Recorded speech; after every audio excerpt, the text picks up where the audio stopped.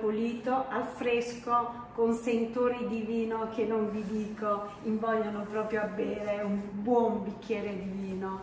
E voglio presentarvi Carlo Polito che eh, ha preso in, in, mano le redini di questa cantina che ha fondato il suo papà.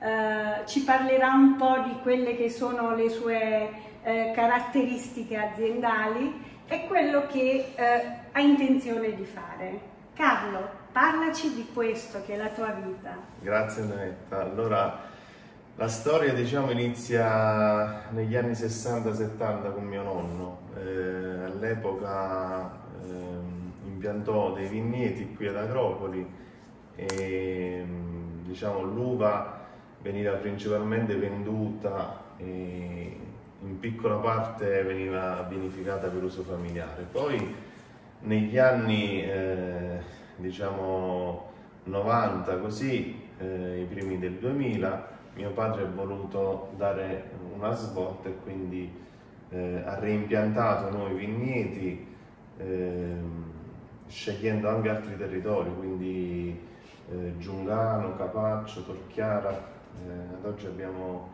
cinque siti e questo ci permette di, di avere, di prendere le, diciamo, le, peculiarità di tutti questi territori che sai la bellezza, diversi, esatto, esposizioni differenti e quindi la bellezza del Cilento è anche questa, che a distanza di pochi chilometri riusciamo ad avere eh, dei vini eh, completamente differenti, quindi questa è un po' la particolarità. Quindi abbiamo piantato questi nuovi vigneti e ad oggi produciamo circa 50.000 bottiglie, principalmente facciamo, eh, coltiviamo aglianico e fiano, ma anche falanghina e altri vitini eh, non autoctoni però piantati qui da, da, decenni, quindi diciamo un po' si sono ti vuoi sbizzarrire un po' a fare creare dei nuovi vini in sì. effetti. Allora io credo eh, che bisogna e penso nel, diciamo, nel, eh, nel, fatto di portare avanti i vitigni autoctoni, però eh, sono anche aperto a nuove sperimentazioni e a nuovi vitigni perché eh, il nostro lavoro, il lavoro di un enologo eh, è bello anche per quello, cioè certo. divertirsi. Lo sviluppo di cose nuove, esatto. cose che hai fatto tu, esatto, hai creato esatto. tu. Quindi eh, in futuro insomma prevediamo dei progetti con, con dei vitigni eh, diversi da, da, quelli con cui lavoriamo oggi, ma questo poi ne, ne riparleremo. Sì, tra l'altro in questa cantina sto vedendo delle cose che non ho visto prima, tipo questi cassettoni sì, eh, noi eh, dopo l'imbottigliamento eh, che facciamo, eh, il vino riposa eh, per un certo periodo prima di essere messo sul mercato, quindi eh, il miglior modo per, diciamo, per, far riposare il vino è quando si usano soprattutto determinati tappi, quali quelli in sughero, mantenere le bottiglie in senso orizzontale al buio, eh, senza vibrazioni e questo lo e riusciamo a fare. questo è un po' per preservare i vini, ma io sì. voglio vedere in questo scrigno cosa c'è. Qui hai, hai, aperto la cesta, diciamo, eh, ma io ho il naso particolare. Qui abbiamo dei magnum eh, di Corsaro che facciamo in vari eh, formati litro e mezzo, 3 litri, 5 litri. Bellissimo. Che è una vista che dà piacere, dà emozione. Poi quindi... ho notato anche altre cose. Ho sì. notato quell'orcio. Sì, eh, sempre nell'ottica delle sperimentazioni nelle nuove prove che, che facciamo e che vorremmo fare, eh, stiamo pensando a fare questa vinificazione in contenitori differenti, quale l'anfora, il quale eh, diciamo, apporta eh, al vino eh, una microossigenazione senza la cessione di sostanze eh, e tannini come può essere per, invece per le botti di legno. Quindi c'è un'evoluzione del vino senza l'apporto di altre sostanze e profumi. Ma anche tu poi metterai sottoterra questi orci o no? Questo vediamo, ora devo... ho letto di questo Sì. tipo di Lì in effetti anche lì è, mm, il, il tutto è dovuto ehm, al fatto che sottoterra la temperatura è costante e fresca Mm. e questo è eh, diciamo ehm, il modus operandi per la vinificazione del vino in generale.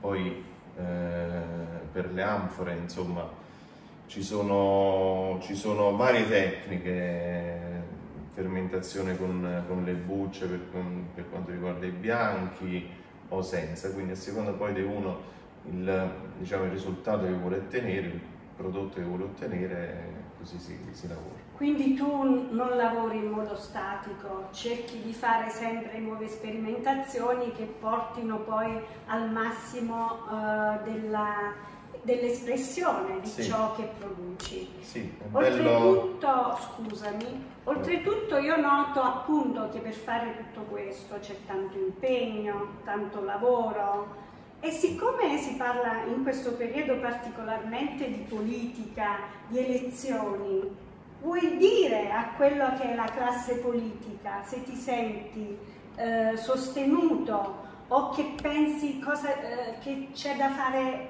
cose diverse per sostenere anche voi cantine del Cilento che siete il lustro del territorio. Beh, guarda, sicuramente eh, a parte il periodo che stiamo vivendo, ma diciamo volendo prendere eh, uno spazio temporale più ampio, nel Cilento eh, sicuramente è stato fatto qualcosa, ma eh, sicuramente potrebbe essere fatto molto di più. C'è tanto da fare. Eh, immagino alle infrastrutture, a- ai servizi, eh, alla viabilità. Quindi diciamo ehm, siamo un po' penalizzati sotto vari punti. Noi eh, per quanto ci riguarda, eh, tu ora lo sai, lavori con molti produttori di, di- di più campi, ce la mettiamo tutta, ci impegniamo e i nostri prodotti sono apprezzati sia qui che all'estero. E infatti mi parlavi che oggi hai delle visite in cantina di svedesi, giapponesi. Sì, sì. Parlaci di questa cosa. Allora, ehm, siamo- abbiamo preso parte a un, eh, un evento che si chiama eh, Campania Stories che ehm, diciamo, presenta i vini della, della- appunto, della regione alle, mh, alla stampa internazionale. E quindi ci sarà questo incoming di operatori eh, delle maggiori testate giornalistiche che eh, appunto proveranno i vini delle, delle realtà eh, campane e in più faranno delle visite in, in azienda. Sentire queste cose mi rincuora perché significa che il territorio si muove comunque con tutte le difficoltà, ma si muove. E, e c'è tanto da fare certamente, ma queste persone che credono nel proprio lavoro e nella propria impresa si danno un gran da fare e c'è da elogiarli in tutti i sensi. Grazie.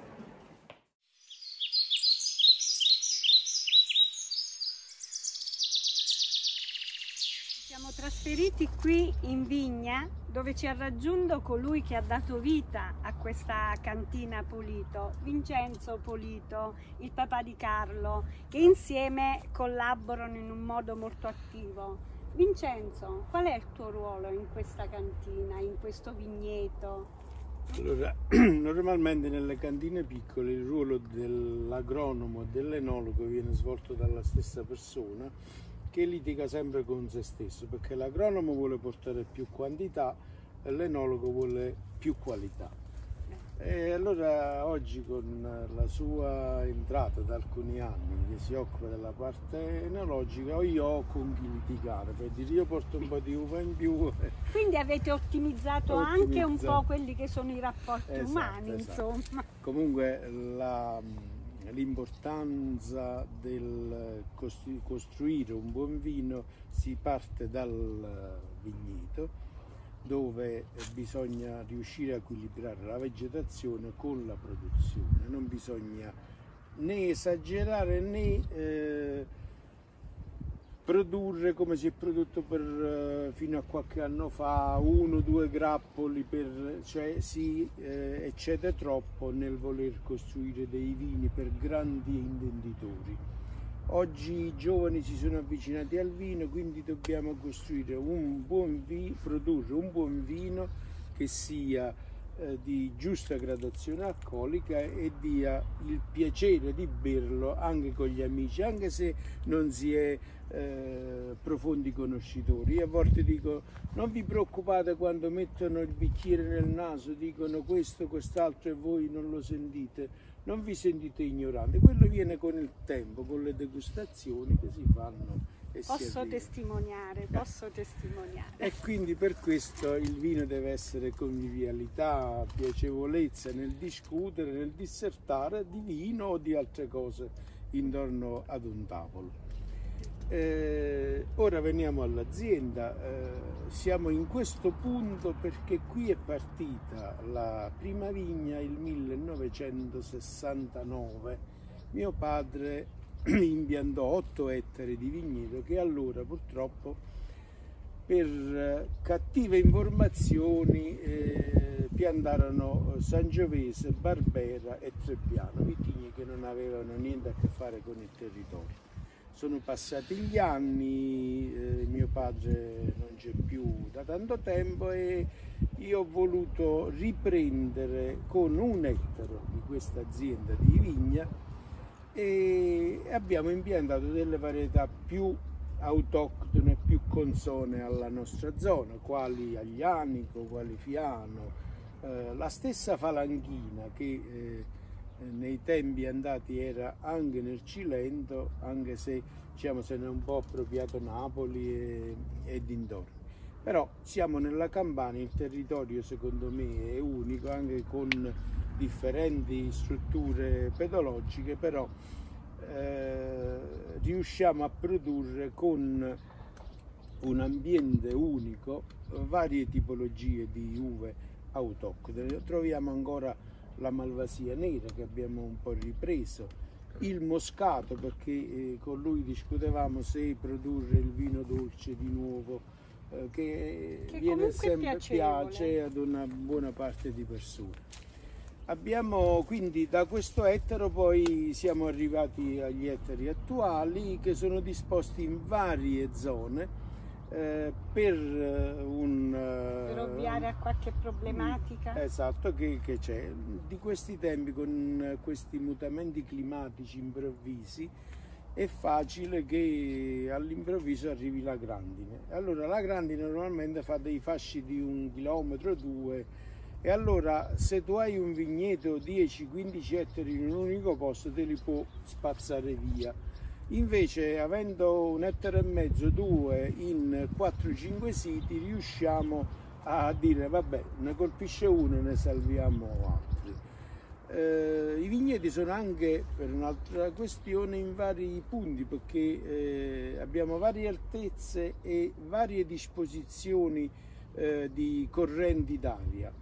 Ad esempio su Capaccio abbiamo una disposizione che eh, viene l'aria fresca sia da mare che dalla montagna di Vesale, da Trentinara, a scendere giù in canale nel, nella valle. E quindi abbiamo questo scambio termico che per i vini bianchi è fondamentale per dare i profumi perché nostra, eh, il nostro problema al sud, un po' tutto il sud, sono le alte temperature che possono eh, diminuire un Togliere po' i, profu- i profumi. Mm. Se riusciamo ad, ad esempio, ora fa caldo, però la mattina incomincia a essere fresco, quindi è l'ideale per eh, i vini bianchi.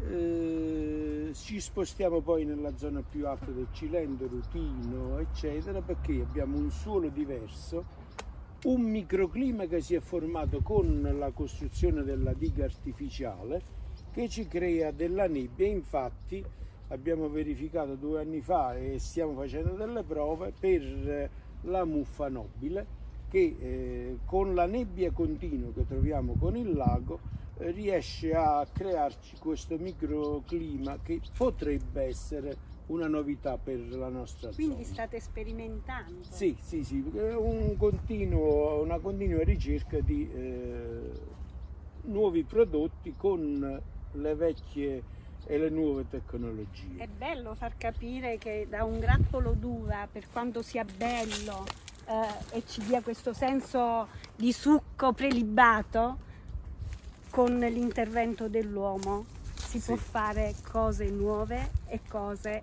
prelibate, come ha detto lui. E la tecnologia cambia in continuazione anche il modo di coltivare, mentre fino a ieri si eh, eh, lasciava più aperto, oggi dobbiamo stare attenti che con le alte temperature si può scottare l'uva, quindi in genere con le disposizioni dei vigneti si, fa, si pulisce una sola parte, si toglie la potatura verde e all'altro lato si lascia un po' di vegetazione in più in modo da poter difendere la, la vigna, le uve, i grappoli da questi, queste temperature forti. Siamo arrivati a 34-35 gradi, eh, quindi eh, possiamo avere una scottatura delle uve. I terreni vengono movimentati il meno possibile, però qui non possiamo fare la non cultura perché di questi tempi eh,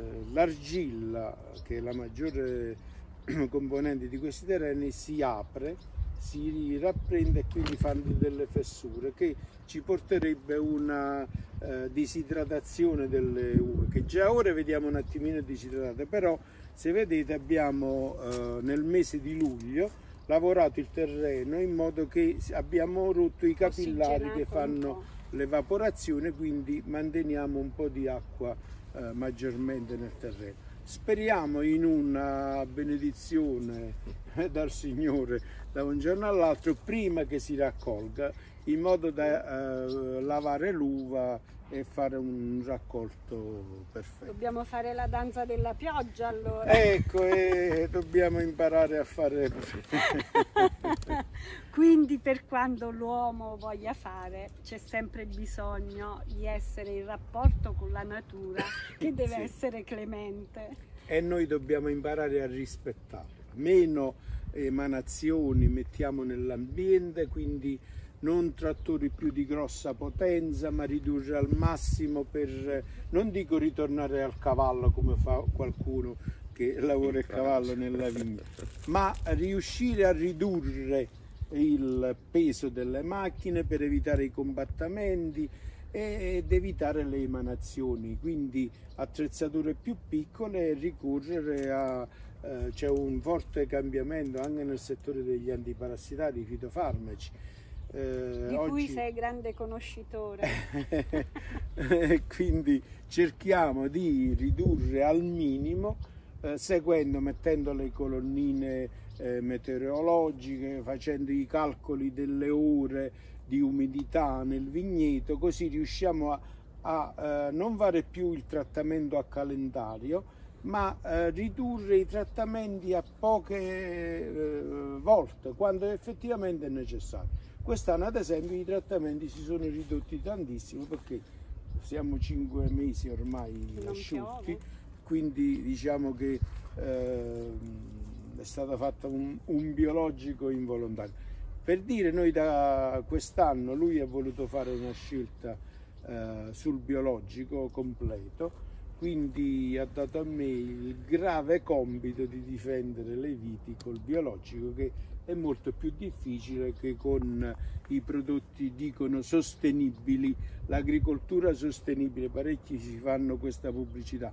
L'agricoltura sostenibile non è agricoltura biologica, è un'agricoltura che permette l'uso degli antiparassitari anche se in quantitativi ridotti, però lo permette. Il biologico invece permette rame e zolfo che sono prodotti naturali e con questi dobbiamo mantenere e batteri e funghi per difenderci dalla muffa grigia. Bene, abbiamo fatto un po' la storia di quello che è una vigna, il lavoro nella vigna e, e di quello che è il risultato di un ottimo vino. Inoltre io laggiù vedo dei fili, a cosa servono? In effetti uno dei grossi problemi che abbiamo oggi eh, sono i cinghiali. I cinghiali non sono più uno, due, tre, sono 30, 40, 50, è un'orda che arriva e che in una notte ti può distruggere un ettaro di vigneto come niente. Allora eh, cerchiamo con eh, le difese di un'elettrificazione di ridurre questo rischio, anche se se sotto passa un piccolo di cinghiale la mamma passa, si butta e rompe. Noi abbiamo avuto quest'anno una perdita in un vigneto eh, circondato da boschi eh, di circa 30 quintali di fiano eh, perché una notte sono entrati, hanno rotto i fili e sono passati. E non si sta facendo niente per quanto riguarda... Diciamo... Ma c'è una programmazione... Sotto l'aspetto politico tu... Politico, sì, perché noi non possiamo fare le leggi, noi non possiamo eh, dare degli input se non vengono poi eh, sostenuti dalla politica. Hanno cercato di fare dei finanziamenti per fare le recinzioni con la rete metallica, ma sono state 20, no, 20, aziende che lo hanno preso su mille che hanno fatto la domanda, cioè i fondi eh, non sono sufficienti. Allora l'unica cosa secondo me è questo, solo per i cinghiali aprire la caccia 12 mesi all'anno, perché eh, la popolazione di questo cinghiale importato ha rotto l'ecosistema locale, di conseguenza non è più eh, diciamo ammazziamo il cinghiale e rompiamo l'ecosistema. No, l'ecosistema è stato rotto già dal cinghiale che ha preso il sopravvento su tutte le altre eh, componenti dell'ecosistema e quindi un cinghiale che fa 10-12 figli eh, ogni parto e si moltiplicano in continuazione con eh, due parti, un parto e mezzo all'anno, eh, sta ormai inondando la piana, le montagne, le città a mare di orde di cinghiali, cioè non è più uno, due, tre. Quindi non perché non amiamo gli animali, no, per però ci deve essere comunque un equilibrio, un equilibrio, perché anche l'uomo deve poter lavorare e vivere in sicurezza. Esatto, piccole aziende con un po' di mais, un orticello eccetera ormai non lo possono più, devono andare a comprare tutto, non è giusto questo. Questo non è giusto anche perché il Cilento, la piana del Sele, eh, la propria ricchezza è il terreno sì, e le sì, culture sì. che vengono effettuate in questi terreni. È normale che noi dobbiamo preservare tutto questo. Bene, abbiamo fatto una carrellata di eh, nozioni, abbiamo dato tanti input a chi ci ascolta e volevo dare l'ultima parola a Carlo che è il tuo futuro e, e, e sarà lui che eh, diciamo eh, a portare avanti quello che è stato un'azienda di famiglia, no? Sì, io mm, diciamo vi abbiamo mostrato quello che, che facciamo eh, in cantina e in vigna. Ora quindi eh, diciamo passo la, la parola. Eh... Allora io ti dico che come Bevande Vitantonio io ho scelto e, e vi sostengo e, e vorrei far presente come facciamo un cerchio di collaborazione con la cantina Polito. Volete questi vini ottimi? Belande Vitantonio. Grazie, grazie.